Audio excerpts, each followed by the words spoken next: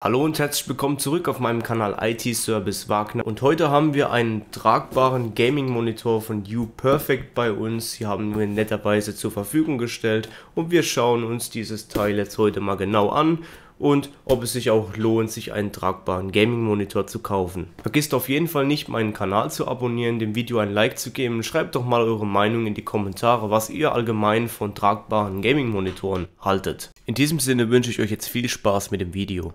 Dieses Video wurde mir von UPerfect ermöglicht, deshalb lohnt es sich umso mehr bei der Webseite vorbeizuschauen. Dort gibt es neben den tragbaren Gaming-Monitoren noch viele andere coole Sachen. Link findet ihr in der Beschreibung.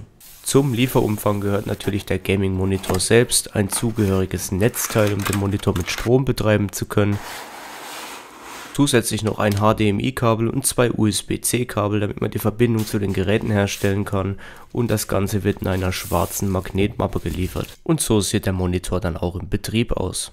Auf die bereits erwähnte Magnetmatte bzw. magnetische Hülle legt man den Monitor dann ganz entspannt erstmal drauf und kann dann mit Hilfe der Aussparung auch die Position verändern. Der Monitor hat einen AUX-Anschluss sowie einen HDMI-Anschluss und zwei USB-C-Anschlüsse und neben den Menüknöpfen noch einen Micro-USB-OTG-Anschluss.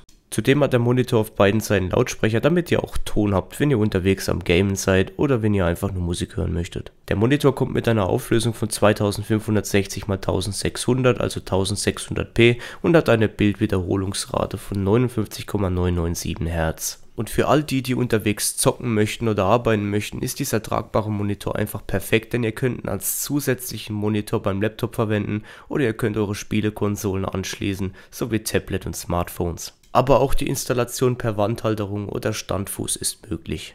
Das war's auch schon, ich hoffe ihr hattet Spaß und wie gesagt, vergisst nicht meinen Kanal zu abonnieren, dann verpasst ihr auch nichts mehr und gebt dem Video ein Like und schreibt in die Kommentare, was ihr darüber denkt.